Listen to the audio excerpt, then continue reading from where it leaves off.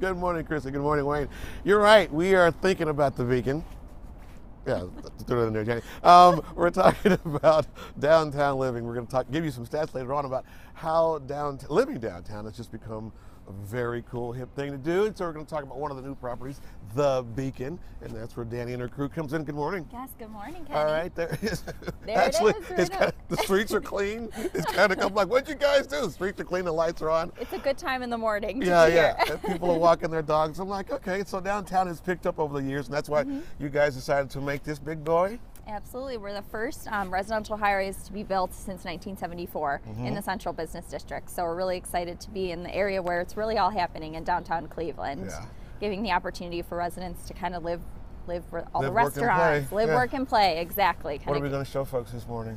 Well, we're going to show you a two bedroom model suite where we have some fun um, guests, local partners from around the area that are going to be there as well. Um, we have a beautiful wellness room. We're going to get our workout in. Um, Lovely. yeah.